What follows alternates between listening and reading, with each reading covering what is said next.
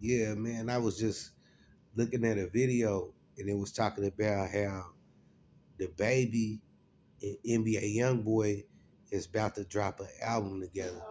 That's gonna be some cool shit, but at the same time, between time, you know, everybody know I got a DaBaby this song and shit. But uh Lil Durk and them, Lil Durk and shit, you know, I really ain't tripping with the nigga. I just I just dropped a diss song on him because you know, don't worry about it. inside shit, man, you know. But uh Lil Durk and them, they seething or something. So I don't know, man.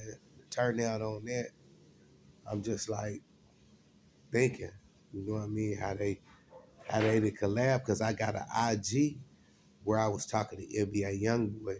See, because I know NBA YoungBoy got maybe I think he got some people that's from down here, so you know what I mean. And uh, shit, that's it. That's all. I just want to touch bases on it and stick my face in the place about that album because I know it's coming. You know what I mean. And y'all be prepared for mine because mine coming too, man. Eastside shit, man. Crown by the Crips, homie. I mean, the Adventures of Nikos, man.